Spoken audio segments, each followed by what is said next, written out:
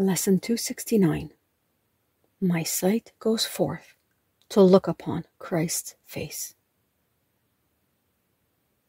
I ask your blessing on my sight today.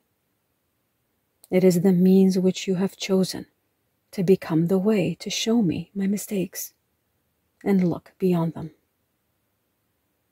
It is given me to find a new perception through the guide you gave to me and through his lessons to surpass perception and return to truth.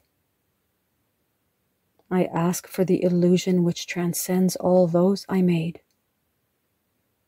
Today, I choose to see a world forgiven, in which everyone shows me the face of Christ and teaches me that what I look upon belongs to me, that nothing is except your Holy Son.